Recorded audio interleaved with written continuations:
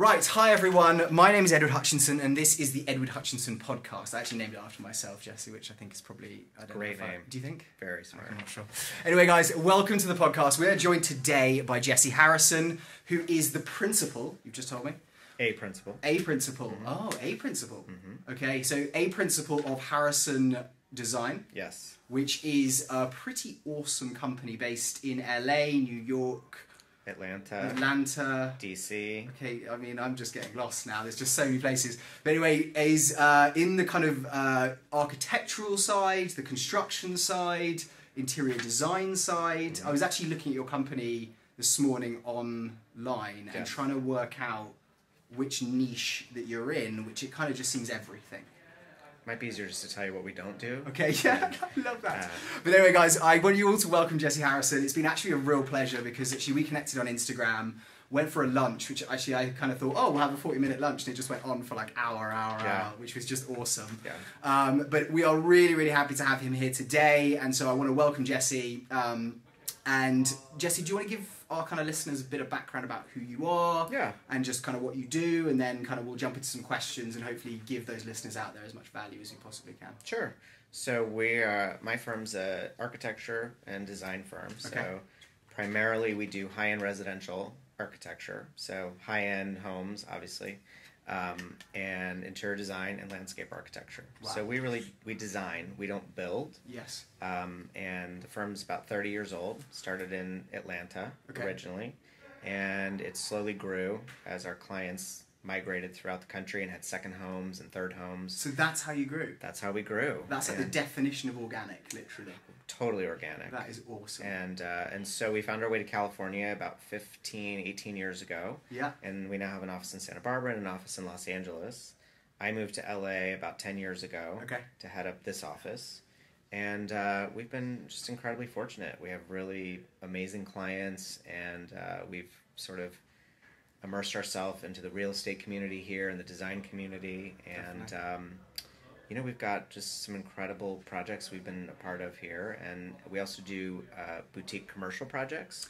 So I don't know if you heard about, for instance, uh, we did the Saban Theater renovation on Wilshire and we did uh, a big remodel of one of the public's big public spaces at Sierra Towers in West Hollywood, and uh, what is the public spaces in that? That's because I've been to the units, and obviously there's one on the top floor right now, which I think is incredibly highly priced. very very pricey. Yeah. Yes, uh, um, but it has got amazing views. yeah. But so what it, is there kind of communal spaces within there? Like So on the sixth floor, so they've got the lobby on the street level, okay, and then on the sixth floor they have uh, a swimming pool, uh, a spa, a Ah, gym. that's where that is. Uh, they used to have what was called a manager's apartment. They have uh, a, a private event space for their residents. yeah. And so, uh, four or five years ago, we did a big remodel with the, the board there and did uh, all those spaces over and rearranged everything. Uh, so, that's the kind of boutique commercial work we do from time to time, and Yeah. we're slowly getting more of it. And then we're also uh, the executive architect for, I don't know if you've heard about the, the proposed hotel in Benedict Canyon. Yes. Uh, so we're the executive architect on that. Um, we have an amazing client who uh, is working on that. We're working right now to uh, get the city on board, and and it's I suppose with that, it's so unknown the time frames at this stage. super unknown, Okay. and it's it's uh, it's just a slow. It's a slow burn. Okay. We have to, you know, but people in the community have really come around, and um, we've had a couple of events, and people are uh, really on board with it and supportive. So, so there's the kind of projects we we do a little bit of everything, and our different offices do other kinds of, you know, aging in place, and we're doing a, a country club Yeah. renovation in outside Santa Barbara. So we do a little bit of everything. How do you manage to like spread yourself time wise then? Because I presume at the start, it's kind of like everything's in one place. You've got Yeah. all your employees; they're there. Kind of, you can visit the sites. But when Yeah. they're spread, even from Santa Barbara to here, that must be difficult for you. You must have people you trust within the company to be able to. Oh, do we have just an incredible group of people, and so um, we have project managers and architects, and um, and I have my counterparts, um, the other principals here, and so you know, you just you know, in LA, you just or in Southern California, you have to be really thoughtful about how you manage your time and your geography. So we all just divide and conquer. You know, we all just uh, I stay ninety nine percent in LA, Okay. and and in LA, ninety nine percent on the west side. Really? You know? Okay. Yeah, so our primary focus residential in our residential projects is Beverly Hills, Bel Air, um, Brentwood, Palisades, Malibu. Um, Where all the, The high hills. properties. yeah, we just uh, got a nice project in Hancock Park. Amazing. You know, Sunset Plaza. So we kind of stay in a limited geographical area. Yeah. And so for the listeners out there, obviously, I think they a lot of people aren't in LA and they're from across the world and they're thinking, well, you know, LA's full of famous people and that's Yeah. kind of what happens. For us, I think it becomes a little bit more normal because actually Totally. here, Hollywood is the main industry or has been over the last sort of 30, 40 years. Yeah. So it becomes a kind of situation where that person, yes, they are famous and everyone knows who they are, but they're just a successful person in their kind of own right Totally. how is that dealing with those kinds of people? Because I know, and obviously we, we don't want to name drop here, and I don't want this to become a place where we're trying to get attention for that purpose. Sure. But you must kind of have. There's other steps that you need to take when you're dealing with people at that level, I presume. Yeah, and it's really not. Everybody thinks all your big clients are celebrities and producers, and Yeah. and a real estate agent years ago told me, listen, most celebrities don't really have that kind of money. Yeah. They don't really have that much money because they don't.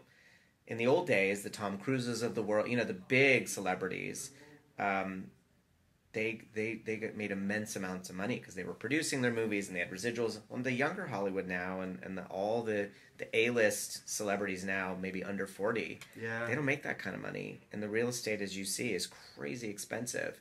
So we have a few Hollywood clients, and Yeah. but they're way up the food chain because they're the only kind of clients who can afford to build multi-million dollar houses. You know, people who are way up, way up in the stratosphere. So it's really mostly just normal, whatever normal means in LA. Yeah. But it's normal people. It's people who come from a significant family wealth, people who come from some kind of tech industry Old money, new money. old money, new money, people who've inherited a lot of money, Yeah. um, people who are servicing the entertainment business. You know, someone who might be a big shot agent or somebody in a law firm.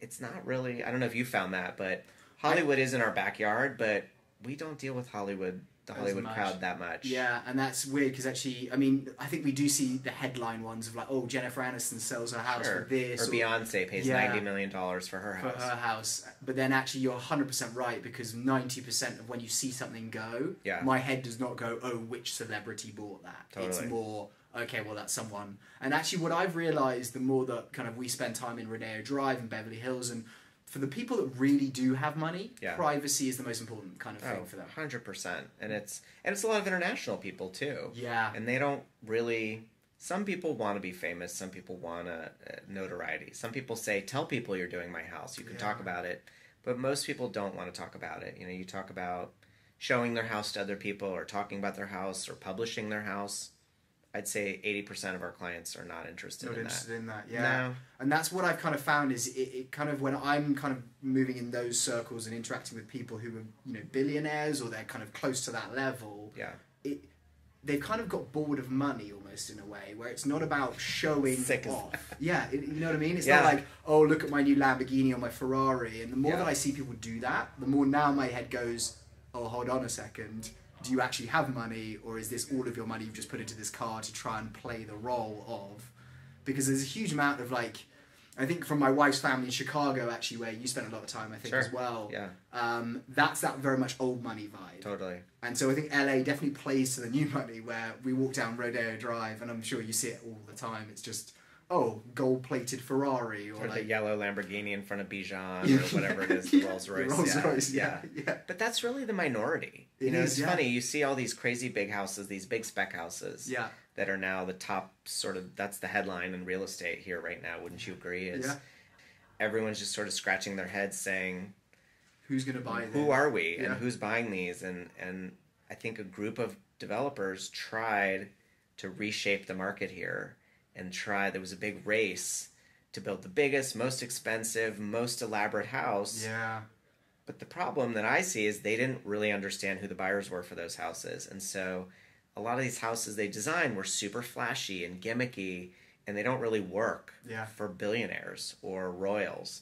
And so these houses now, some of them are just sitting around collecting dust, taking huge price reductions, and everyone's sort of saying, well, now what? Like, Yeah. what do you do with these things? No, absolutely. And so it's weird. You're right. Like, a, a part of it is the new money thing. Yeah. But part of it is no matter how much money you have, new money or old money, these people are sophisticated. They have people around them advising them. They've traveled all over the world, and they're not stupid. And I feel like if, if they're in that position where they're going to spend that volume of money, they are not going to buy what someone else's dream was. They're Yes. going to create what they want to the Totally. T. But they're also not going to buy, I don't mean to sound like this, but they're not going to buy sloppy seconds Yeah. in the sense that something that's been sitting around for two or three years and nobody else wanted to buy, nobody wants to be perceived to be the dummy Yeah, who built who, who overpaid for it. Yeah. And so it's it's really interesting and it's kind of I feel really badly for some of the developers who put their neck out there Yeah. and built some of these crazy houses because every I heard it over and over again. LA's underpriced, you know, compared to New York and, and London and Hong Kong. Oh my gosh, yeah. we're so undervalued and and I think they just thought if you build it they'll come. They Yeah. thought that all these mega wealthy people were just going to flock to LA Yeah. and drop 150 million dollars on a house. And I think all of my really wealthy clients know they don't need to spend 150 million dollars in LA to get a trophy property. Plus, I think it's also not a good investment, especially from a California standpoint, mm-hmm. i.e., you're paying on the purchase price. Right. So instead of buying a lot of land, spending a year, two years, well, probably a lot longer than that, four years, building out something that you really love and want, and obviously it's going to be reassessed, Yeah. but you're not going to be paying the 150 mil Yeah. that's this kind of insane kind of price that someone's put out there, because you're paying like one over 1% a year. I think it's one and a quarter. One and yeah. a quarter. So yeah. it becomes kind of like, wow, the guy that has built that wealth and that much money yeah. is not going to turn around and throw 15 million down every year just to have the house. You, know? You actually raised one of the best points, which fascinated me, is people think that very wealthy people Yeah. don't care about money, or that they don't understand, or that they're not going to be upset about little chunks of money. And it's actually the opposite. You're right. I'll never forget. We did a huge house here, one of the biggest projects we did for a, a Middle Eastern royal Yep. with lots and lots and lots of money, right? I mean, I saw them spend money in ways I've never even seen people spend money before, Really? right? Just six, seven, eight, nine. I mean, you name it. Brings 25 people around with them into Oh, I mean, just you know, it's just dropping crazy money on Yeah, things, okay. right? But they built this home in Beverly Hills, Yeah. sixty-five thousand square feet or so. What? It's a vacation home, right? And after the fact, and this is just a house that that this client uses once in a while, right? After the fact, three four months later, I kept saying, you know, this is going to be really expensive to run this house. But expensive for me and expensive for somebody like that is Different two scale. different planets, right? Yeah. And I remember we got a call about four or five months into living in the house. And it wasn't that they couldn't afford it. It was just, oh my God. Like between the property taxes and the amount of staff you have to have and, and a house manager. You know, a good house manager for that kind of property is a hundred, hundred and twenty five thousand a year to have someone sit there. And and on top of that, crazy things. Like they had I don't know how many TVs in the house and they wanted they wanted cable and they wanted Sky News and all this. Well, just their cable and phone and internet bill for the house was like twenty or thirty thousand a month. You're joking me. And so, And then you think, oh, AC, how many zones have you got? oh my god, I mean, running yeah, constant, and, and, and the kind of gardener you have to have to maintain that kind of property, and the kind of you know a hydrologist to maintain your fountains, and and so it just went on and on and on. And so it's interesting you say that because the wealthier somebody is, Yeah. the more finicky they are about not wanting to get ripped off. And it's those little. One of my clients has an expression: "Death by a thousand paper cuts." yeah. And that's what it is. And there's nothing more annoying to a person of wealth than to feel like they're being held hostage Yeah. with their money. And I feel like actually the ones that I know of that kind of net wealth, like, and I have a relationship with, they almost go through this cycle of, okay, give, give, give to my parents, my family, whoever, like, I'm around. And then they get to that moment of, like, what am I doing with my life? That's And- it. Yeah, and they clear it out. Yeah. And then they go back to doing that a little bit, you know, six months, a year later, and they try and stop themselves. But yeah, it definitely is that stress of it's not, oh, I need to lay down this massive check. It's I'm laying down five thousand checks Yeah. in a two week period, and this is just constant now. And where is all the money that I'm like making going? Well, and, and so it's funny going back to the you know these these big crazy houses and what's Yeah. happening in the market here. The other thing is they're kind of gimmicky. Some of them, right? They all kind of look the same to some degree. Yeah. Um, they're beautiful, but none of them is particularly distinctive to me when I look at it. Of course, I'm probably a little jaded. But the other thing is, I think the new up and coming wealthy, right? Yeah. The new, and when I say new, I mean millennial generation. millennial and, and, and anybody even under 50 let's say Yeah. right whether they've inherited their money or they're a tech you know phenom who made you know billions of dollars there's such a paradigm shift happening in how the mega wealthy display their wealth Yeah, or don't display their wealth so true. and i'm not so sure that most of these people they want beautiful houses they want an impressive house but they also like look at mark zuckerberg he lives in what like a three or five million dollar house Yeah. i think you're going to see coming up i have clients who could afford 10 times more house than they have Yeah. But they realize at some point there's a diminishing return i don't need a house this big i don't want to be a slave to my house Yeah. i don't want to live with people in my house all day and i have to live in it i'm a human being you know my spouse and i or my kids do i want to sit in a house that feels like a museum or a hotel I think you're 100% right. And weirdly, like, I, I tie it back to some trends that we're definitely seeing, i.e., like the WeWork situation. Totally. Whereas before it was like, oh, well, I want my own office. I'm not going to go and. Like, now it's like, okay, I just want the location.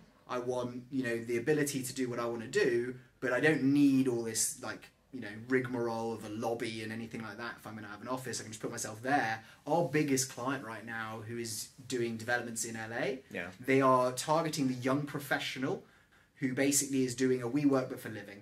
And so therefore you get your own bedroom with an ensuite bathroom. co-living yeah, and you're paying sixteen hundred dollars for a one bedroom, amazing bedroom and Yeah. bathroom, and you're sharing the living kind of area. I have a client friend, and he's investing big time in the co-living. Yeah. I think it's, you know, what the buzzword I think will be is just flexibility, Hundred percent. and in the houses too. Yeah. People used to have the formal dining room and the formal living room, and now you're seeing, Open plan. well, like the great room, these sort of undefined, totally flexible spaces. Yeah. Some people aren't even doing formal dining rooms anymore. Some Definitely. people, a lot of these younger people with with with money, Yeah. are doing a 180 from what their parents and grandparents did, and they don't care. And they and they're mm. even in even in the style of house they're doing. They're not doing traditional. They're not doing modern. They're doing this transitional in the middle, Yeah. where it's kind of traditional but kind of modern. And so I think you're gonna see. I think that that has a lot more age, though. Do you not think? Kind of, you know, five years down the line, I think that looks a lot better than building the modern of today. I think so. Yeah. I think I think LA has gotten so carried away with the, the you know there, there was well there was the white box thing which kind of started dying about five to eight years ago. Yeah. Now we're seeing some of those on the market, and they're not doing that well. No, and and I mean you're right. It's kind of you can almost date every house in LA Yeah. by style. Yeah. And and the transitional thing.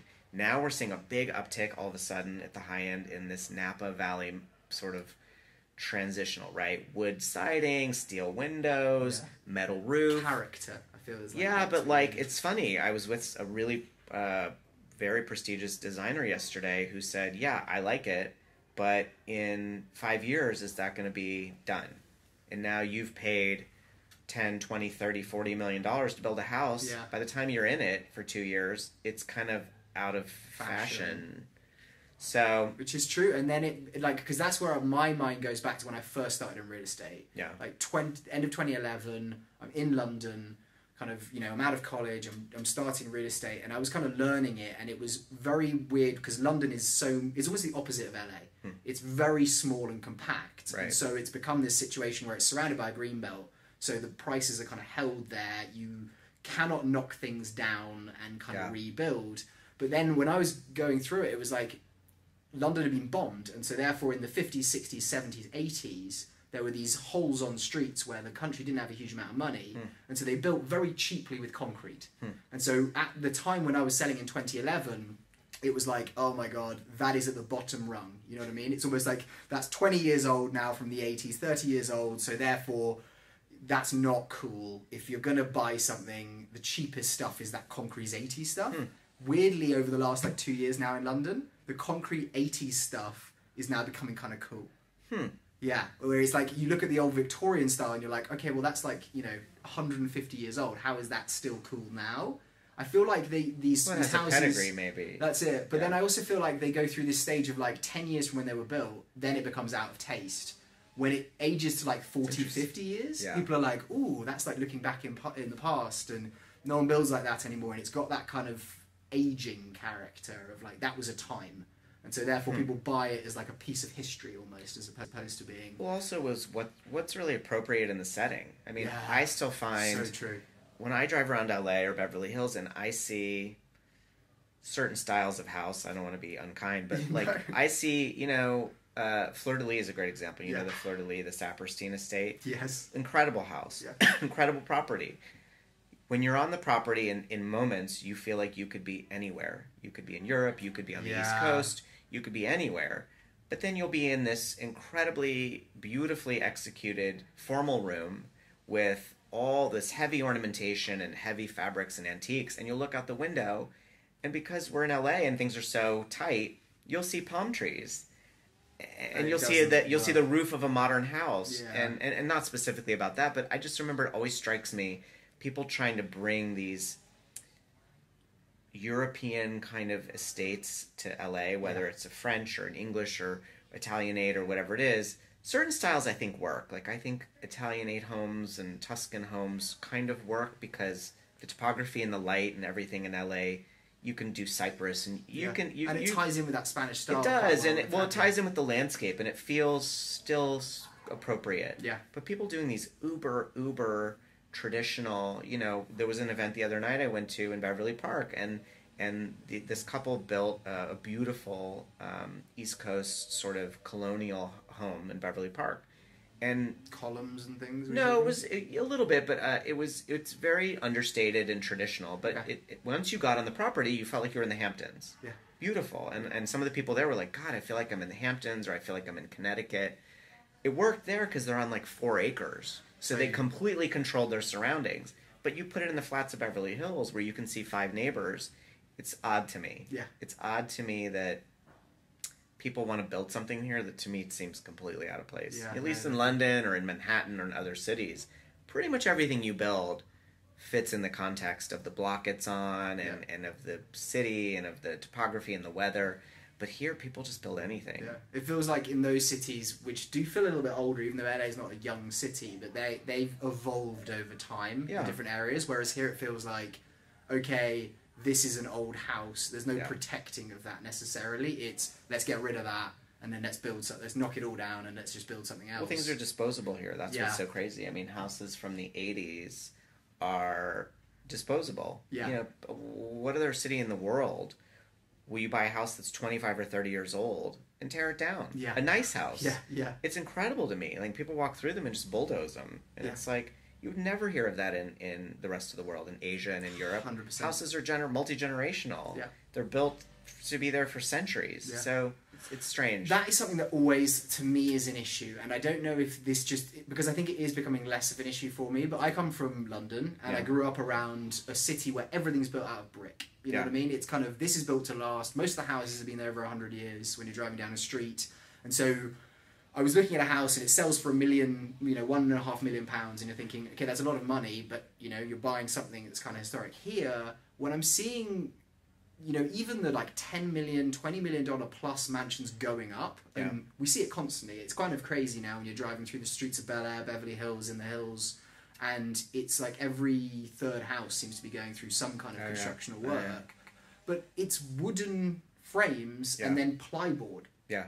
And so I'm in my head, I'm like, that's going to be 20 million. And you know, when you kind of buy a nice handbag or shoes or whatever it is, the quality of the build Yeah. is everything. And I feel like the house that you're going to buy is almost the biggest investment. It's what you should care about the most in terms of the build quality.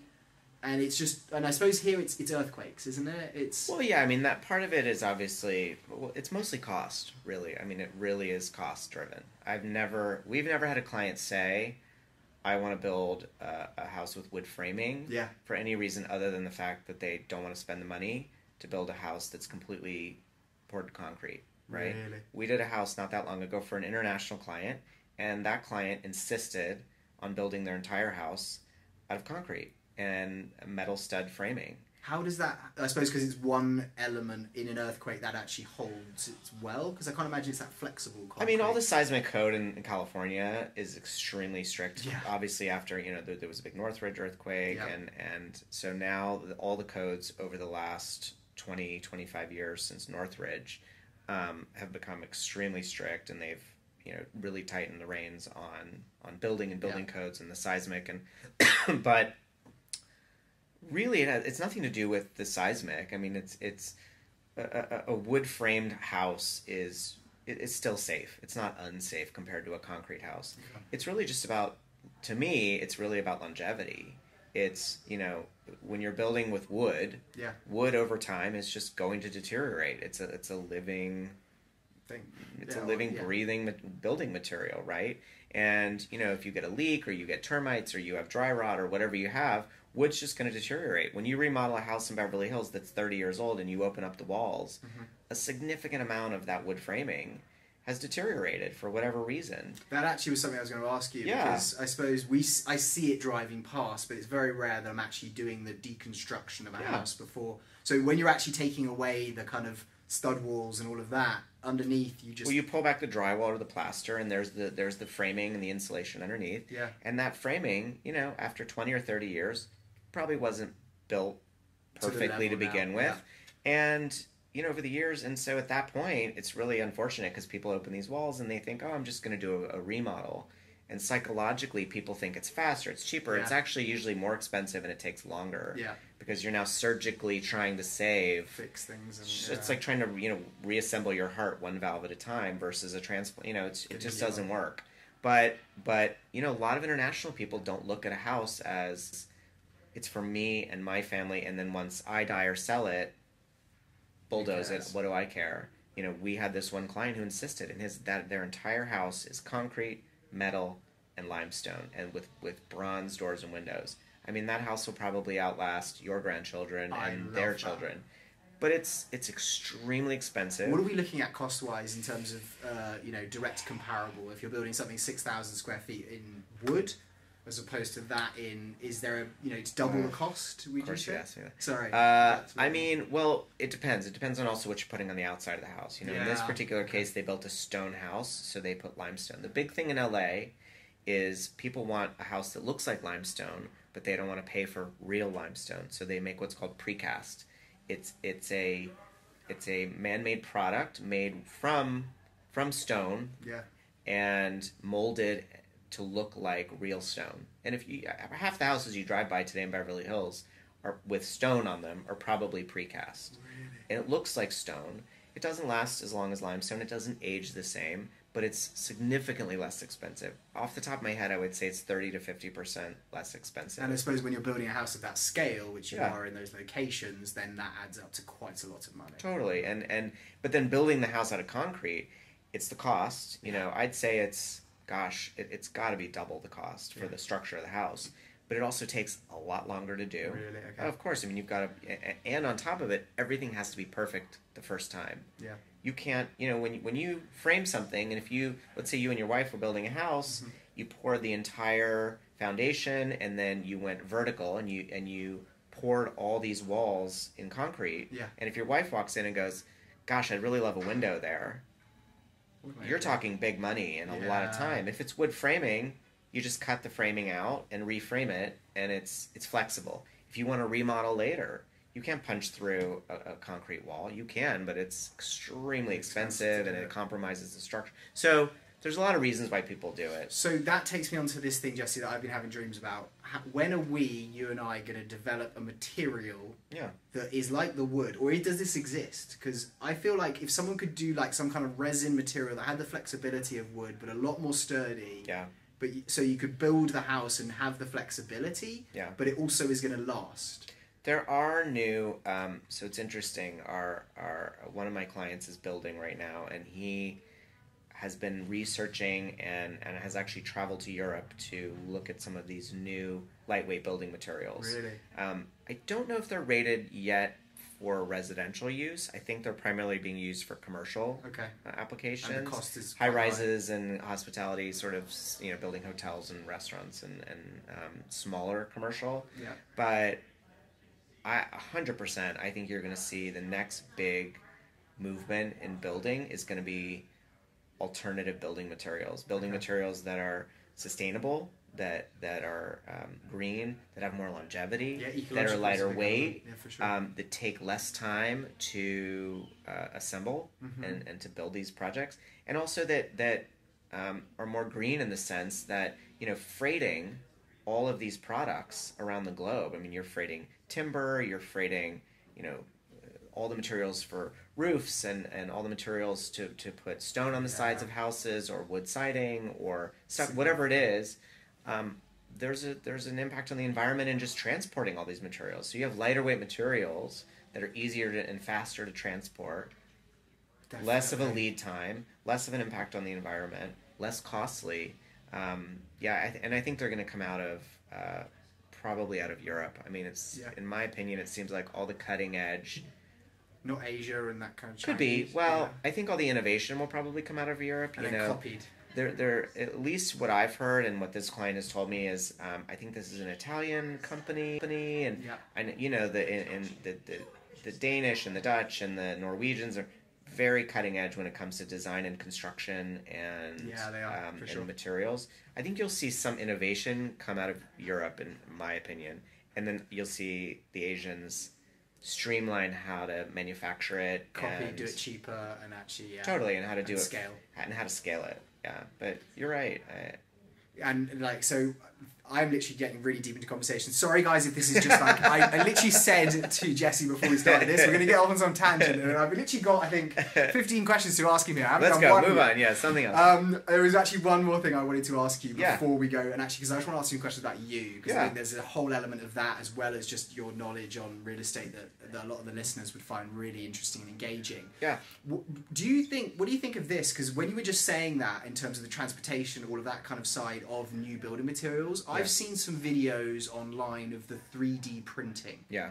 You know, and obviously at the moment, I think it's very testing. They're doing like little models, and they're doing. I saw actually one I think where they were building houses in Africa, Yeah. where they're literally dripping Crazy. whatever it was and going around. Do you think that could that is gonna eventually go into the luxury market and that kind of side, or? I mean, I don't want this to. I. I Oh yeah, this is gonna be like ten years. In the, yeah, someone will say, "What a text." dummy!" Yeah, God, like wow, how zero, zero foresight there. Yeah. Uh, You can't predict the future. Let's just put that out there, guys. So I'll say this. I'll give you. A, I'll give you a political, a po- politician's kind of answer. I like that. Uh, my feeling is that at the at the very top, right, the 0.01 percent of Yeah. people, because that's where we live. We live in the 0.0. We don't live in the one percent. We live in the absolute top of the stratosphere, Yeah. within 10 miles of where we're sitting. Um, I don't know that there'll ever be any kind of mass production appeal to people at the very high end. Okay. I think when you're talking about building houses in Africa or building sustainable housing um, for maybe um, sustainable and affordable housing or building housing for the masses Or temporary, or temporary yeah. housing or building housing in third world countries or um, things like that i could see an application for it Okay. i'm not sure that kind of technology will be that useful to people at the high end it might it might streamline certain parts of it Yeah. but I just don't see someone who's wealthy and opinionated Yeah. and has choices going for something like that. Yeah. I don't I don't think we're 10 20 years out from No. something like that personally. It's kind of like self-driving cars. Yeah. People always talk about I've had people say to me, "Do I even need a garage because in 10 years no one's going to be driving." And I said, "Well, the masses may not be driving, but somebody worth billions of dollars is still going to have their own car Yeah. and and even if they are in a self-driving car they're going to have their own fleet of self-driving cars they're not going to get in somebody else's so i don't know at the high end i think the rules are kind of out the window I think you're 100% right. I think maybe you fast forward like 200 years. Maybe, yeah, And you have some helicopter that comes in and basically just lays stuff out. Then it becomes like a pretty crazy, you know, that's the new way to build stuff. Yeah, I was doing podcast. Um, so that is going to be really interesting. But anyway, I think let's like definitely tune in on that because I think Yeah. in 10 years, imagine if that's starting to become the new thing. in 100 years find me and Yeah. let's see if we were right or wrong Hopefully, yeah. we're still alive in Yeah. 100 years. Um, okay, so Jesse, I just want to get some more personal stuff about you and how you actually find yourself now in the position that you are. yeah So, where originally you from, born and raised uh, in the US, of course, I'm presuming, from atlanta From Atlanta. from the south and you travel back there quite regularly. Not so much anymore. My family's all on the West Coast now, so Okay. um, our biggest office is still in Atlanta, and it's kind of where our home base is for you know a lot of our back of the house stuff, Okay. like accounting and HR and stuff like that. Is that generally because actually the you know you, you actually have employees that you've had there for a long time, but I presume you don't have to pay someone the same to do the back end administrative stuff that you do in LA? Or It's maybe a little less expensive, but that's not really the reason. It's Okay. just that was the original office. That's the biggest office. Our founding principal still is based in Atlanta, and that's where his office I is, even though he travels all over to all the offices regularly. okay, Um, but you know, it's just kind of where we started, and um, it's just we've had we have a team there. You know, some of our folks have been with the company for two decades or more. Wow. So um, you know, it's just it's easy. It works really well for us, and that way we don't have to have all these people in each office individually. So it works. But yeah, I grew up in Atlanta, and uh, was not for me. no, No, um, it's a beautiful city. It's an incredible place. But for me, I just California was always where I wanted to be.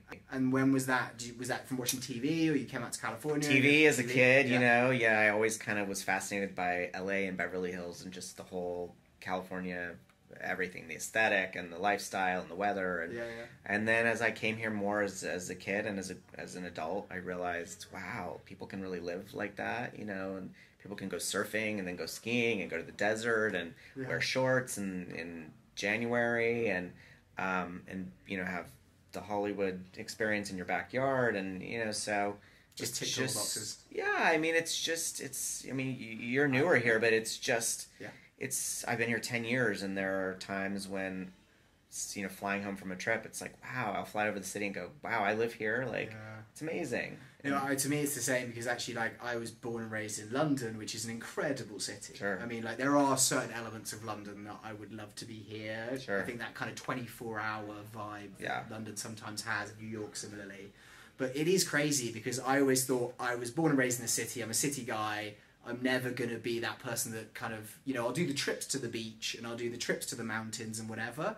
But when I first, my wife at the time she was my girlfriend moved here. Actually, my first impression was moving down to downtown LA Hmm. in 2009, Interesting. and I was like, "This is not what the TV has told me LA is." Yeah, no. Yeah, went to Venice, fell in love with Venice because I was like, I live in a city, and then I also have the ability to basically surf every day, be in the sun, go travel up the coast to Malibu and be on the beaches and do whatever. Like it was kind of like I can have my cake and eat it. Sure. So it was kind of a similar vibe for you. Yeah, it, it's look, Atlanta's a you know, and I I've spent time in Chicago and New York, and and Atlanta and Chicago, New York. Those are all amazing cities. Yeah. But I think organically, you just click with a city or you don't, Yeah. right? And Atlanta is a wonderful city, and there's so much innovation and huge companies there. Yeah. But it just wasn't right for me, and so LA just I just I don't know if you just know it, but I knew it, and then Yeah. the second I got off the plane here, I've always felt at home here, And and you I look forward to going home when you're on a trip. I do, and I've never found it difficult here to meet people or make friends or colleagues. Or LA just has such an open, Yeah. an openness to it. You know, people are open to I'm positive. very positive, and people are open to, to collaborating and meeting and Yeah. taking a meeting, and and people are just receptive here. And and so even though we kind of rag on the city a little bit Mhm. on the architecture real estate side where everything is sort of disposable and new and Yeah. on the other hand, LA is so open to new ideas and um, doing things differently and giving somebody a shot. And so there's something, there's like an electricity here Yeah. No, definitely. because this whole city was kind of built on innovation and doing things in, in a different way and, Yeah. And creating things. So, That's what I always find amazing is, you know, when I walk into a lot of cities, it's kind of like if you're an older person, Yeah. it's almost you're looking down on the younger people, like, oh, you don't know what I've seen. Da, da, da, da, da. Yeah. In LA, there isn't that vibe. Not that at I all. Find. Yeah, it's No. kind of like, oh, you're young. Oh, you come from that place. And I think that maybe is because everyone's moved to LA as well. totally. So it becomes like a kind of, oh, well, you've got a different experience than I do. And it's not like some of the families that, like, I still am very close with in London. I literally see the, the son at my age and they just have become the father. Yeah. Like, completely, like, wearing the same clothes that they did when we were little kids, you know, like the chinos Fun. and whatever. And I'm like, Sounds great. God, thank God I've kind of, like, moved away from that. Well, people here aren't thing. snobby. I, I find people here so are super inclusive. Yeah. You know, I'd say like Bel Air is probably the closest thing Yeah. in, in in the wealthy part of LA to like the Upper East Side of New York or whatever the most elite part of London or Paris or whatever would be. And you know, I find our clients, the people we do business with, no matter how much money they have or how prominent they are, Yeah. they're incredibly inclusive and open-minded and um, just really approachable and easy to get along with. So 100%. that's what I like about LA. I think it's just an amazing city, Yeah. and, and it's gone through such a renaissance in the last decade. I mean, I moved here at like the perfect time because to me, people in other major cities sort of looked down on LA for a long time. It was just sort of like it was Hollywood plus Beverly Hills plus a beach, Yeah. right? There was nothing here. There was no depth. But in the last decade, it's incredible. I mean, you see just what's happened here with the museums and with the performing arts Yeah. and the restaurant scene and even the shopping and all the cultural things in this city. It's incredible. I mean, And you know what? Weirdly, I think the internet plays incredibly well into Yeah. LA's court totally. because it became like a thing before. Where it was like, oh, you needed to be on Wall Street because if you were going to Yeah. trade, you needed to walk down the street or send a courier to do whatever. Yeah. Now a person can run an investment firm in New York Yeah. while living in LA. Yeah. Which is kind of now it becomes more you're choosing the environment for like enjoying it as opposed to Totally. I just need to be here for my work or whatever it is. Well, I was in New York last week, and Yeah. the New York LA connection is almost a little unnerving. Yeah. How tightly connected they are. I mean, it's it's it's incredible. It's like and you're right. across the, the It really is. I mean, it's almost sort of like they might as well just have a shuttle that runs between New York and LA. I'll be in New York and run into LA people, and all the New York people are in LA, and Yeah. it's just it's so intrinsically connected now. And you're right in every way. People in finance, people in the design world, the arts, all of it. So it and London, a lot of Brits here, as you know. Definitely. So LA's become this sort of global hub in every industry. So I think yeah, seeing the emergence of Silicon Beach now. Totally. Yeah. Silicon Beach and all the tech companies. You know, the Olympics are coming again to Los Angeles. We now have all these major sports teams.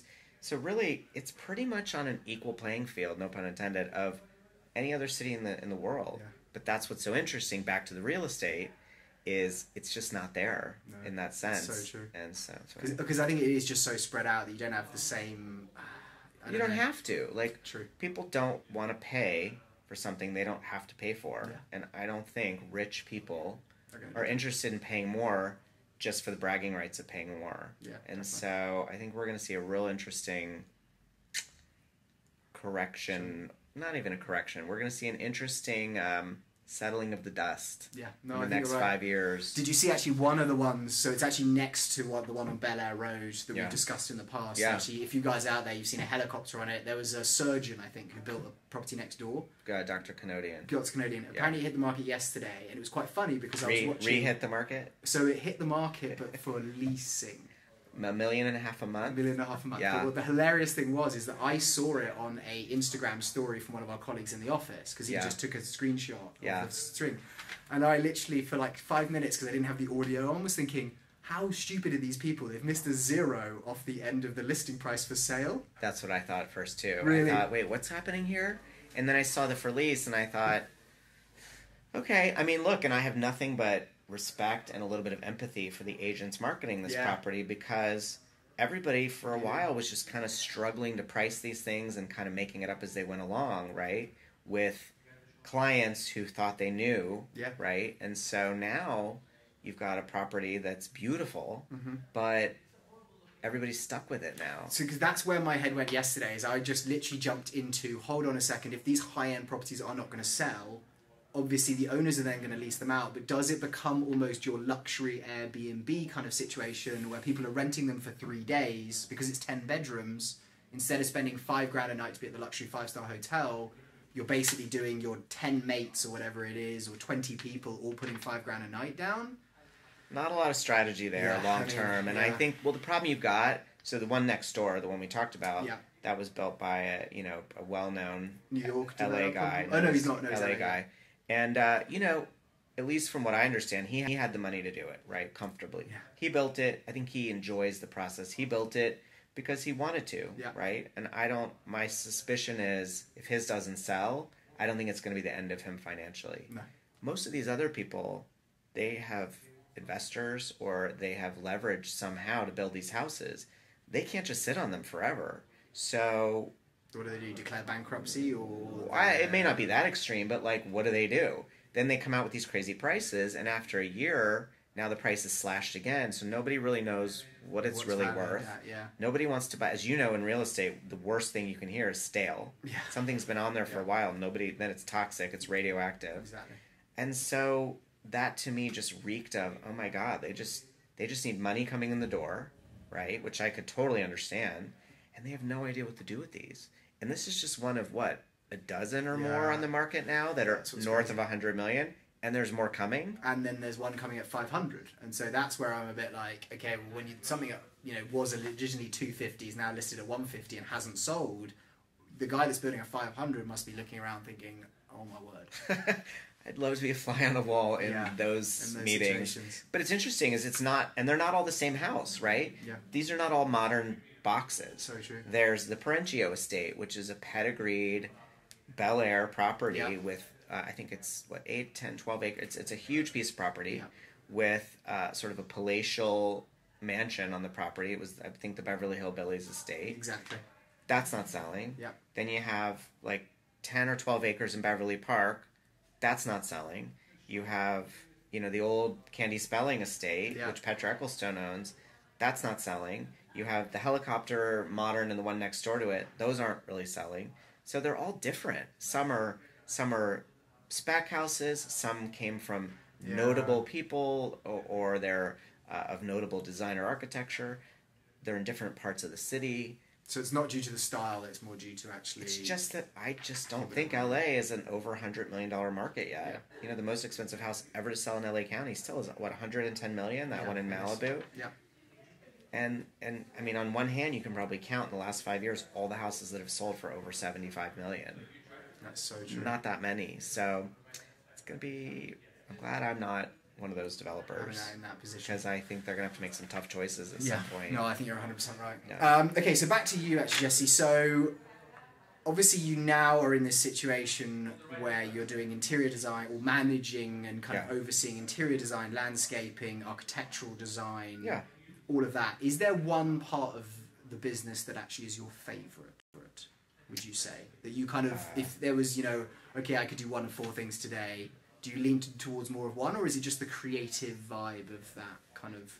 I think the beginning is the most fun. It's kind of like Really? it's the honeymoon. Yeah, when you first have a new client and and there's this energy in the beginning and you're sort of you're problem solving. You're Yeah. sorting out all the pieces. That's the part I enjoy the most. You know, once you're once you've designed a house and permitted a house and you're building a house, it's fascinating. It's really fun. It's fun to be to see the progress and it's fun to see it come together. It's fun to see people get excited as, you know, their house goes up. It's fun to see them living there later. Um, all of it's really incredibly interesting and, and rewarding Yeah. and fun and it's so personal. But I don't know, the beginning is the most fun. Laying a house out, really like getting it out of people what, they What they really want. because they don't know what they want. Yeah. So you have this fun sort of psychological scavenger hunt with people of trying to sort of and then you have two people so you kind of have a really complicated fun of Yeah. like Not fighting each other, merging. coming together. yeah, so I think it's fun. It's a little bit of psychology. It's a little bit of design. Um, you know, it's watching people compromise. It's learning how to build within a budget. You know, everybody has a budget. I don't care how wealthy they are. Yeah, so true. I've, we've never had a client ever in the history of our firm who doesn't have a budget and who doesn't get upset when the budget is broken. is broken or gets out of hand. So that's what I enjoy. You know, planning a space, planning it out, helping somebody find the property, Mm-hmm. the big vision in the beginning. Because I don't know, it's sort of like it's because actually yeah so i think that that is fascinating because i obviously i talk a lot on our platforms to our instagram followers the people on the podcast about how i'm a real estate agent so i'm kind of in the sales industry right. but it's more actually i do more therapy work and so i look at my situation i'm like okay 30 days escrow 60 days 90 days maybe as that's the time i'm dealing with that person they're spending a huge amount of money so it's a massively stressful process yeah, keeping them happy and holding under control. and- But yeah. your job must be that on steroids because it's not just you're dealing with someone for a month to three months. Yeah. And is this right? Is that right? Tick the boxes and get a signature. I mean, you are taking them through every single decision, and then they're changing their. I mean, how do you cope with that? I, I, You enjoy it. oh, so- it's fun. It's Yeah. it's it's it's. I mean, what a cool job. I mean, there are days I get up and go, "Wow, do I really do this for? I get paid to do this." Still, you know. you get that. Yeah, I mean, gosh, how fortunate am I? You know, I get to I get to deal with just incredible people, right? And Yeah. and and it's not because they have a lot of money. It's just you know, a lot of times you're dealing with very successful people who are really fascinating. You know, Yeah. they've they've built a business or they've created something or they're they're they're they're the kind of people that a lot of other people would die to be in the same room with some of these clients. Not because they're famous or rich, but because these are really successful, interesting people who've accomplished a lot probably in their life. And so we get to have this incredibly personal time and experience with them, which is really rare, Yeah. right? You you do too. And so that's really fun and then you get to you get to spend their money with them. I mean, Yeah. you get to live vicariously through people. Oh, I suppose And- that is an element for you actually as well, isn't it? You well, and for you too, I would imagine. You know, like eh, Yeah. you know, if you had the good fortune of buying a fifty million dollar house yourself, great. But if you don't, here you get to get do it with somebody else. Yeah, see the, the Yeah. emotional response. And so, but I suppose you could actually. Do you ever have that with your own house? Is it's kind of an issue because I presume you're No. constantly doing to other people like, oh, we should choose this and we should choose that. Mm-mm. You've done something in your house and you see something like, oh, maybe I should have done that. Does that ever? I personally think the trick to being successful in our related businesses Yeah. when you are when you're when you're serving or working with people who have extreme wealth Yeah. and a lot of options, I think the ability to not let that get inside your own psyche and start to think, "Oh my gosh, I'm like I'm just like them. Yeah. I can live like this." Or or to be envious of that life or really wish I had that life. I just don't have that. So I can see somebody build an amazing home or, you know, do all these incredible things or buy incredible art and furniture, and I find it fascinating. But I can go home to my house and it doesn't bother me in the least that I can't buy a million dollar or three million dollar painting or it, it just it, it it doesn't interest me. And this sounds so cliche, but you know, these people have the exact same lives that we do, Yeah, that anybody 100%. has. You know, their their big concern is their kids and their and their health and you know having a happy family life and you know they build this house and whether your house is 30,000 square feet or 3,000 square feet Yeah. guess what you might have a leak in the roof and you got to repaint it every 10 years and you have to do so it's all the same thing it's it's a bigger version of the exact same thing somebody may have a $300,000 house Yeah. in, in Nebraska they have to do a lot of the same things to maintain their home that somebody living in a hundred million dollar house in Bel Air may have to do. So I just see the commonality of it all. I Yeah. don't see, and so I see other people in our business trying to emulate or get a taste of that life, and it just looks like a lot of work to me. Yeah, it looks stressful. I agree. Um, I think, and you're 100% right, because I think a huge amount of people, when they see the people that we deal with, they see them on the TV or Yeah. in those moments, which is, oh, look at this person in living their lavish lifestyle. yeah, I think we see the person in their day to day routine a bit more, so it becomes very normal. Like, this is a normal human being, well, just as totally normal, and they stress out just like anybody else. Yeah. The numbers might be different, but they stress out. Oh my gosh, I thought this was going to cost X. Now it's thirty percent over budget. Yeah. It's just as stressful. I think there's this misconception of most people that people building expensive houses and buying expensive things, whatever it is, it's just sort of like it's just like a lottery ticket. Like everybody's just Yeah. spending money like crazy. And really, some of my clients are some of the most hard ass about money and the most the most conscientious about what does that cost? Now, why does that cost so much more? Can we get a better price? Not not grinding people or, or treating them badly, but um, it's just it's all really similar. Yeah. It- I mean, like, to me, that pings that thing. I don't know if you've heard this of Warren Buffett. Right. when he used to live with his wife before Yeah. she died, um, apparently in the mornings he would wake up, check the stock market, and Yeah. depending about how he was feeling about the market that Is day, McDonald's? Yes. Yeah. he would say to her like, "Oh, a McMuffin or a McMuffin meal or just like a Totally. little hash brown." And so his wife would put in his cup holder in his car a dollar, a dollar twenty, or eighty six cents. Totally. You think world's richest man for however long that he he was before now Bezos is. Yeah. That is the kind of like level that it takes to get to being the world's richest man. Totally. You can't just make the billions and billions and billions and spend half of it. Literally every single transaction in those people's lives Yeah. is how do I nickel and dime and get the best deal that I possibly Well, can. what's the value? What Yeah. am I getting a value for this? Yeah. Is there diminishing return at some point? Yeah. It's funny being around all these really incredible, elaborate houses and cars and all these things. All I see is the headache. Yeah, yeah. I mean, I'm thrilled. My clients love their homes, and I, I hope we build dozens of luxury homes a year, or design them rather for for decades to come. Right? It's a it's a wonderful business, and we love it, and people love their homes. I look at the prospect of having like someone working in your house every single day and having no privacy and having gardeners and this and that and maintaining all this. It looks exhausting to me personally. Yeah. You know, or you know, you see someone driving a, a Lamborghini or a Rolls Royce. They hit a pothole. You know, and there's a lot. and they've got to have their car flatbed towed, and it's five thousand dollars for. It's just I don't know. Yeah, It, no, it wouldn't appeal to me. So you is that been you since you were young, or do you think that's evolved that now you're more minimal in the kind of way that you want, you know, less but good things in your life to, not to worry about? I think when you have a front row seat Yeah, to how people live, who can who can have anything they want, it's such an interesting education, and I'm sure you see the same thing. Yeah, it's like it's surprising in some ways about how conscientious people are about being good stewards of their their wealth. Yeah. Right.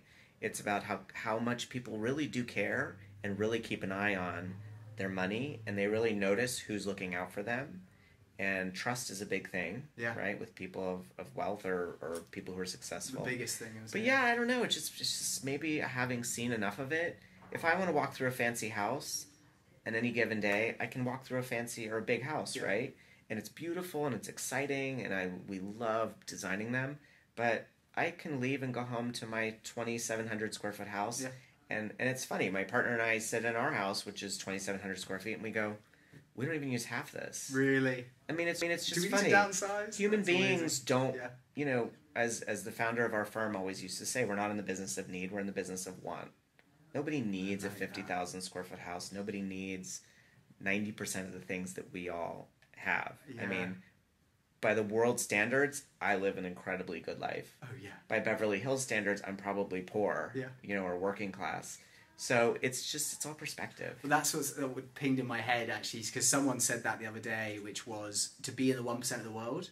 Do you know what your annual income needs No, to be? no. Four hundred thousand dollars. Incredible. That puts you in the top one percent. And Yeah. everyone out there, I think, who watches the, the news, watches entertainment, all that, Sure. like, well, I want to make a million a year. And I'm like, you do realize that puts you in like the zero point three percent of the entire world. Like, it's not. But we, I think because everyone now can see everyone else's lives, because we live in a social world, we live in a TV, Sure. a movie. Sure. It definitely we're going through that weird transition of people are like, well, hold on, he's got that, I want that. But there was some And I think- statistic I don't remember. I saw it was on Instagram or I saw it in, on the New York Times or somewhere. It was the number of millionaires for 2018 Yeah. increased some incredible Really? percentage. Yeah, you'll have to find that. But it was an, it was a it was a significant jump in the number of people whose net worth was now um, over a million dollars who was con- who were considered millionaires. So, but yeah, it's just interesting. It's by LA standards, you know. You know, my partner and I both are professionals and work, and we're fortunate. But by LA standards, you know, we're just sort of one of the mass here. You know, but if we lived in I don't know, rural Texas, Yeah. we'd probably be like the kings of the. You know, hundred percent. it's, it's interesting. Yeah. So it's all, and you can easily you can be very fortunate and successful in LA. Yeah. And still be sort of feel like you're getting nowhere. Yeah. I mean, And I think my wife and I have that a little bit because she starts she started her business and she doesn't take a salary from it, reinvests everything back into it. So I, I make a good salary, or not salary, but I make good money. Sure. However, meals in LA can be Oh, yeah. it, like I have friends who like come from even sometimes from New York and they're like, "What? yeah. How much is this?" And I'm like, "Yeah, well, you can imagine if you make a good salary, it gets eaten away at pretty quickly. It's not just the property prices." Totally. um, okay, so Jesse, you basically did not go straight into real estate or the real estate kind of side, Architecture. architecture, Yeah. that kind of side. No. I think from what I kind of read about you in a couple of articles that I saw that was written, art was kind of where you started. Apparel and then art. Apparel and then art. Yeah. Two two not not fun businesses. So you didn't enjoy that. I did, but you know, apparel, as you know, your wife's in the apparel business.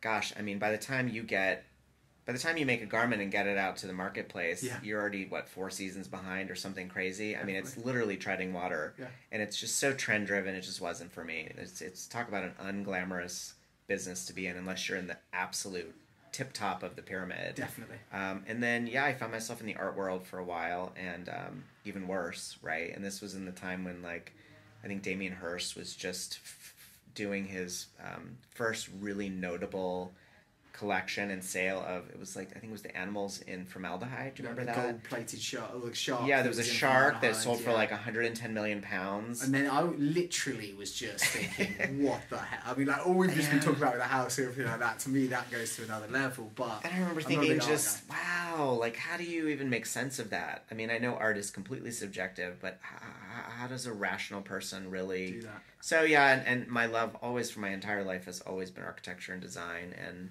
But I think that actually weirdly, and after I read those articles and the conversations we've had, I Yeah. think that that gives you a massive edge on the general person Maybe. that does what you do in this city. Yeah. Because I think I read something in an article that was written about you where it said, for you, the product is it's a unique, almost piece of art. yeah, So it's actually you're not trying to copy the one next door. You're not trying to do.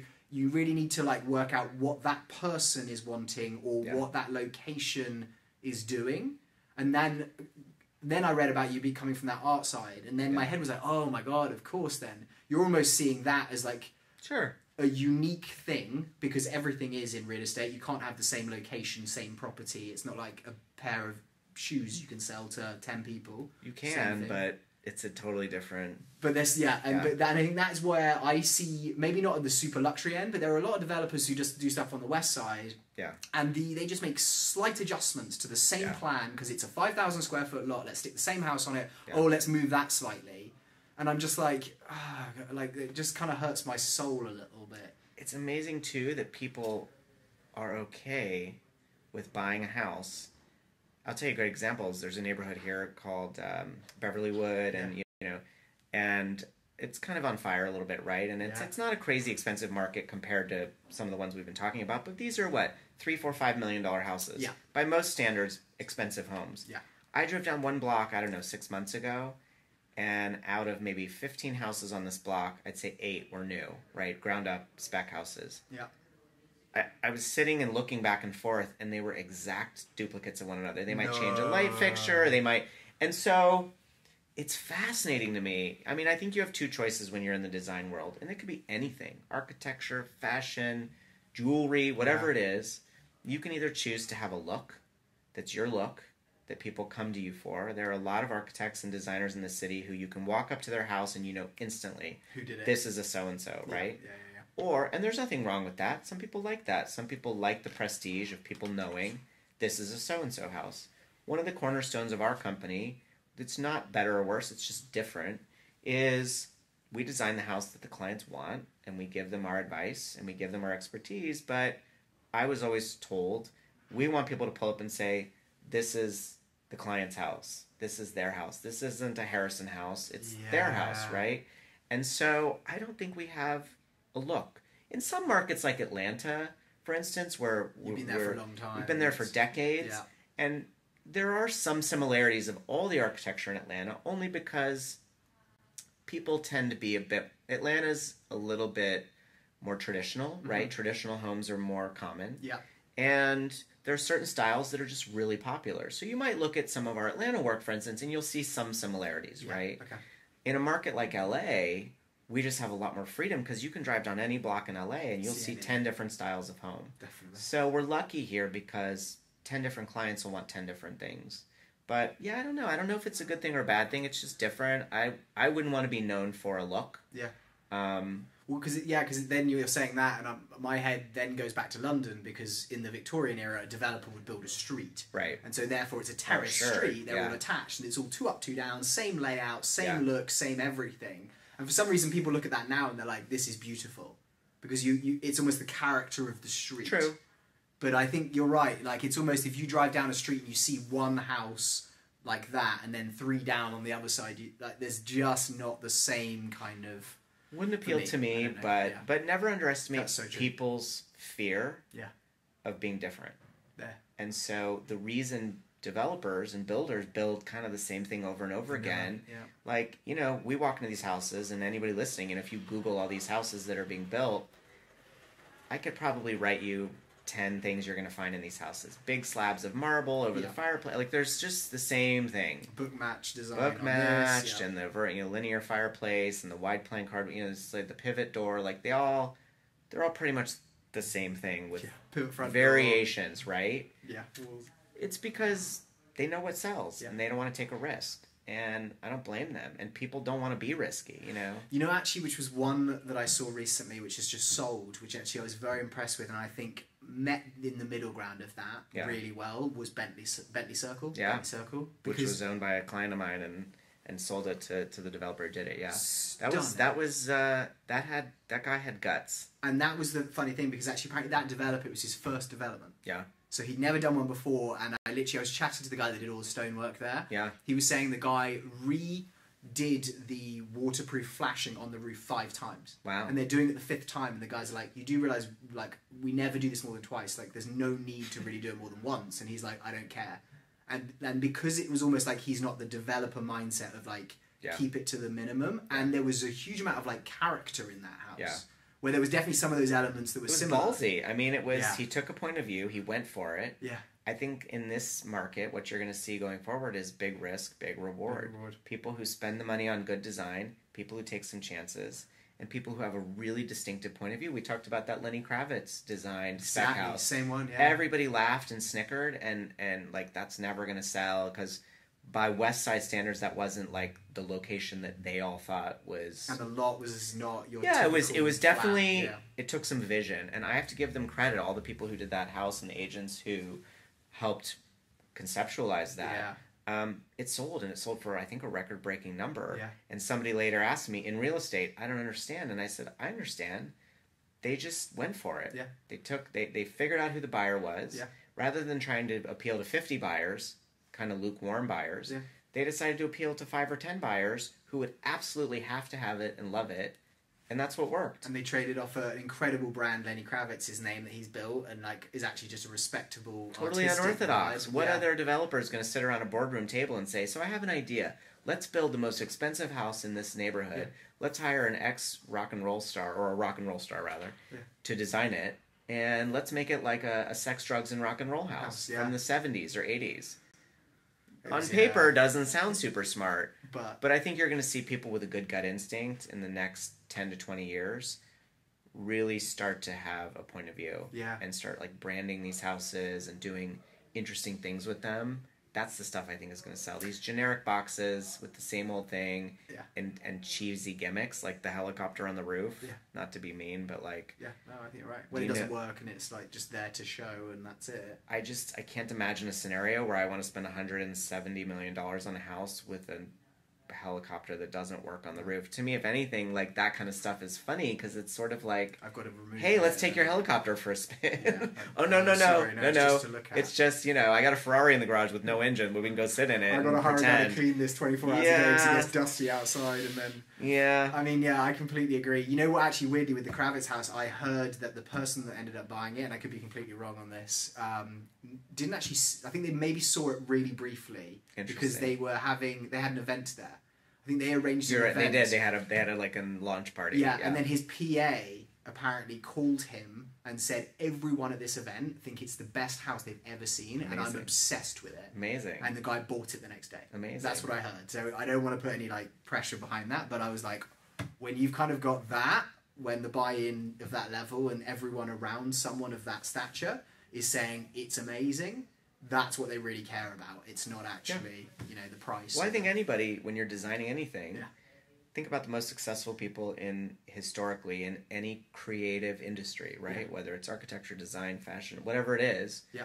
The people with the really distinctive points of view who really go for it Yeah. are the people that end up really enduring. Yeah. And those are the people who are the most sought after. So true, and the people that do not listen to everyone else around them's Yeah. opinion And they're because not they've got their derivative. vision. Yeah. Yeah, And so I think I think I think what you're going to see is as this huge glut of inventory of these mega homes that developers have built kind of pandering to the masses, the wealthy masses right down the middle with these sort of architecturally confused not particularly um, well thought out houses Yeah. that just sort of tick off this generic checklist of, of amenities Yeah. I, I, I, once that sort of once that's worked itself out, which I think is going to be a painful process for a lot of people, I think people are going to step back and go, "Wait a minute, what did we do wrong here?" And the people who've been successful, who've built these really striking houses with significant art. points of view that are real pieces of art, and spent the money on designing them and really brought in the experts to do it, I think you're going to see a complete change in the landscape of how these houses are built. In my head, I always compare it almost to like ice cream. It's like everyone kind of likes vanilla. Yeah. So those guys are just building a ton of vanilla, very expensive houses, which Yeah. a lot of people like, but they're not falling in love with. If they built the pistachio or whatever it was, Yeah, the most people lilac hate it. CBD burnt cherry bourbon. Exactly, That's yeah. what's going to sell, right? Because then Yeah. the people that love that, they're Totally. not going to be able to turn it down. Whereas Yeah. you're kind of not just playing to the mass market, you're finding your niche of the person that's really going to love it, and you're going after that full force. That's what I, I I agree. Okay, All the people at the top of our business Yeah. have a point of view, I think. Um, and if they don't, I think it's going to be harder and harder for them because, you know, as people, now that this is becoming a global city, Yeah. and you have, I mean, I'm sure you see it. I mean, we have clients from all over the world, Definitely. from every continent, and people of every background in terms of what they do and where they're from and what their experiences are and how they attain their wealth. Everybody's going to have higher standards now. People are going to expect more. And I just, when I talk to the people at the top of our business and they walk through some of these houses, they're just not impressed. No.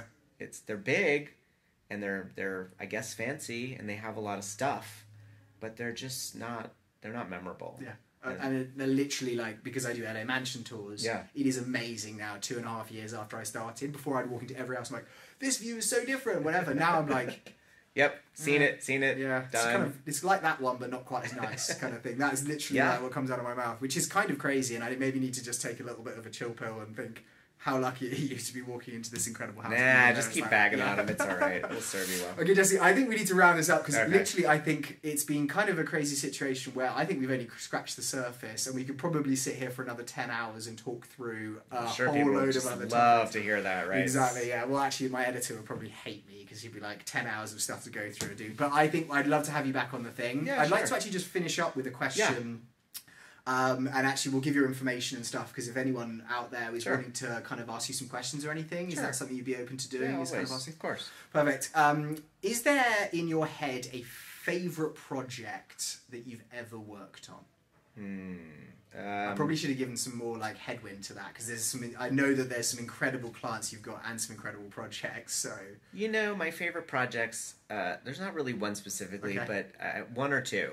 It's not really the project itself. My favorite projects are when people, when the clients really want to do it the right way. Meaning, I have a client right now, it's Yeah. a new project, and, and, and an ongoing project with another client. And these are clients who absolutely love building houses. Really? So it's so much more fun to do a project with somebody who loves it as much as you do yeah, and who are willing to spend the time and money to do it the right way. Yeah. They don't want to find something and knock it off. They want the real thing. And it's not just about spending money, it's just doing it the right way. They want to hire craftsmen and they want to hire they want to buy the materials that are the the real McCoy and Do you never hate it when they pull down the marble three times because it doesn't look quite right? uh, you like that? It can be bit like- frustrating. yeah, yeah. I mean, I don't want. I, I hate seeing people waste money. Yeah. And I hate seeing people um, have a frustrating experience, and that happens a lot because it's just building is difficult and Yeah. messy, and, and it's it's lengthy. Yeah. But seeing somebody who really, really, really enjoys the process as much as I do, and we do, and all the people that I work with. Yeah. It can be exhausting sometimes because what should be a 10 minute conversation is like an hour and a half conversation. But to me, that's the most fun because when you have a client who's sort of indifferent and they're not really into it, it's fun, but it's just not as exciting, right? You still build a good product. But when you have the clients who are really into it, um, and I can think of a couple of clients that we've had that are just, they absolutely just, they can't wait. They can't wait from Friday to Monday to talk about it some more, and they can't wait to to be on site, and they find the construction just incredible and magical, and and so it's that's kind of my favorite because it's rare. You don't, you don't get that very often. Yeah, you don't no, get people who really want to do it the right way. So it's actually the process and the journey of creating it that you love the most, not the finished product, kind of thing. It's both, Both, It- and in the end, that product ends up being like a jewel box. You know, I mean, and you walk through that house and you think it's it's incredible. Yeah. And most people may not notice, but you'll notice things, and you'll mm-hmm. know, wow, like this client really understood the difference between A and B, Yeah. and they invested the money in doing it the proper way, Right way. or like really having it done well, like real stone and real, um, you know, all the the real materials Mhm. that make the difference between a really good house and like an exceptional house. Yeah. So that's my favorite. It's I just fun. Yeah, it's kind of geeky. And now. actually, I think like you look at that being your career, and you're like, if you love that, totally. that's kind of awesome because every day you're happy when you're actually Yeah. loving what you're doing. Yeah. Which is incredible. Cool. Well, I just want to say thank you so much, Jesse, for coming Yeah, my on. pleasure. Yeah, and it's actually been a real pleasure to have you here and to kind of get your insight on that kind of luxury high end part of the market Sure. and what you do. Sure. Um, if any of you guys out there have any questions, definitely put them in the comments section below, or just send me a DM or a message on our Instagram, Hutch Johnstone or Housesgram. And uh, if they're good questions, I'll get them over to Jesse. I don't, I don't want to like flood everyone because I know that your schedule is pretty crazy. Ah, it's all right. And you so. I don't want everyone. If, if people out there are wanting to kind of follow you, and I think you've got an Instagram account that's private. Uh, yeah, we, we have a, our firm has an Harrison. Instagram. It's just Harrison Design. They Okay. can uh, search that on Instagram, and then our Perfect. website's just harrisondesign.com. harrisondesign.com. So Yeah. yeah, if you guys have any questions or you'd like to kind of look in a bit more depth about what Jesse does, what his company does, um, definitely go and find them there. Sure. And uh, I'm just really excited. And actually, I'm hoping Jesse that we can maybe tour one of your projects at some stage. Yeah, I don't want to put you on record or like anything like that. But if there is anything Got where a you're couple in mind for you. yeah, Yeah. if there's anything where you guys are like, we need to see that, let us know, and we'll try and get it done. But obviously, it can be very difficult dealing with the privacy and yeah, everything. There's always a way. Yeah, Yeah. Well, Cool. thank you so much again, Jesse. Yeah, my uh, th- thank you everyone out there for listening. Uh, as always, we want your feedback, so let us know what you liked, what you heard, what you didn't. Uh, we've got actually two more podcasts we're recording uh, next week, and I'm really, really sorry that actually we've had a three week hiatus on the podcast because of my leg. And actually, I was thinking this morning, Jesse, I was thinking, why has that been a hiatus? It's almost the thing I should have been doing more than anything else. Because a podcast doesn't require me really to use this, whereas going and doing LA Mansion tours does. No, I thought, isn't that a known thing that when you injure your leg, it's hard to talk? Oh no! Sure, yeah, Let's yeah. put it out there, Makes guys. perfect sense, yeah, But anyway, thank you guys so much for tuning in. We'll be back with another episode next week, and uh, as always, let us know what you liked and let us know what you hated. Thanks, guys. Goodbye.